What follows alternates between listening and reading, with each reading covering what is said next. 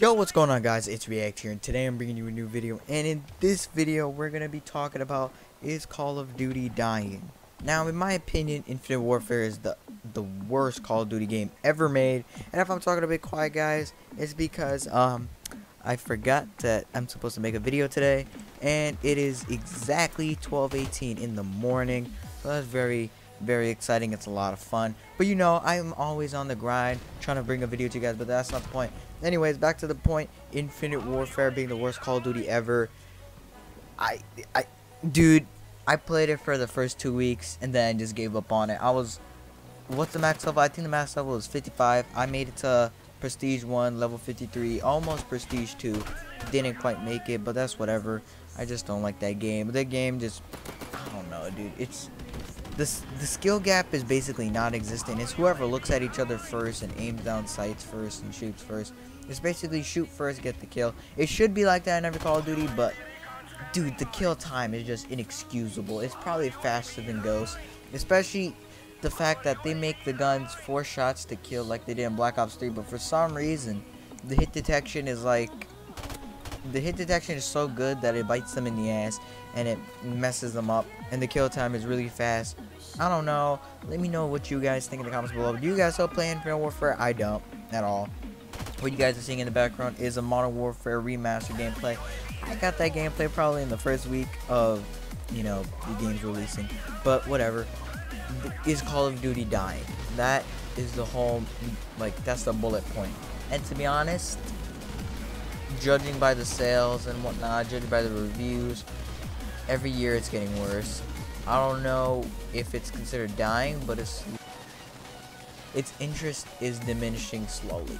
And especially with Infinite Warfare being such a garbage game. I mean, like, a lot of YouTubers don't even play it no more, including me. I don't play it no more.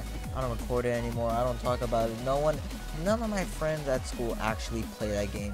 And a lot of the pro players, I don't know if you guys keep up with like MLG, UMG, and whatnot, competitive Call of Duty. Those guys have nothing but bad things to say about the game all the time. Like a lot of players are going back to Black Ops 3, and some, you know, YouTube pub stompers and whatnot are going back to old, even older Call of Duties, and I might as well. You know, Call of Duty Modern Warfare Remastered is obviously fun and all, but obviously older Call of Duties having the experience that I've already had in those games is going to be great to go back and play those games because they're actually fun. Like Infinite Warfare makes me cry. And every time I go on Instagram or Twitter and see Infinity Ward tweet like a little thing saying, hey, we got this coming to the game and this and whatnot. And I'm just thinking to myself, where are the combat records and leaderboards? I don't you add 40 camos and not leaderboards and whatnot. I'm, this is not a bash video on Infinite Warfare. I'm gonna stop right there. Call of Duty, is it dying?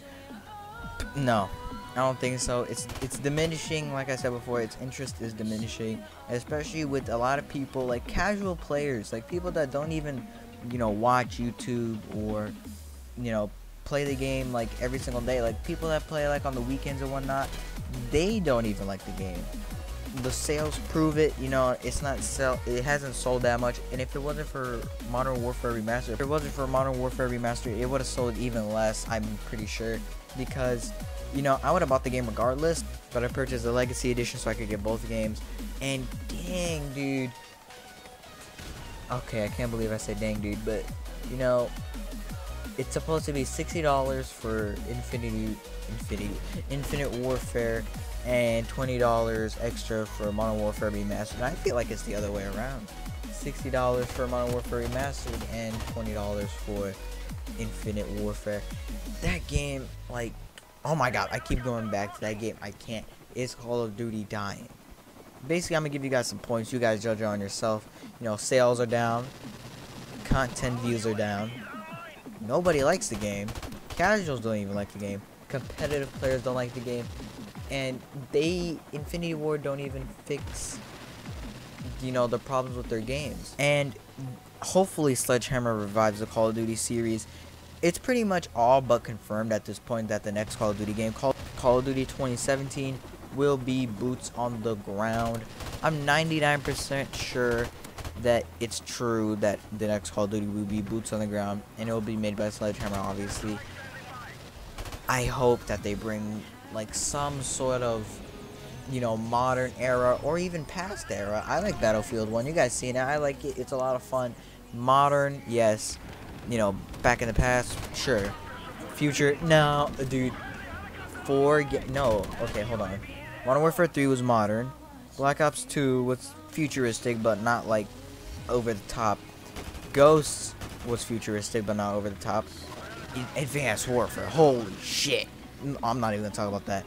Black Ops 3, that was futuristic, but a little chilled with the movement. I don't know, dude. You guys let me know in the comments below what you guys think. Thank you guys so much for watching. Sorry it was a short video, but I am crunching on time right now. I need my sleep so I could get up tomorrow and upload this video. I also need to get it edited, but thank you guys so much for watching again, and I'll see you guys in the next video.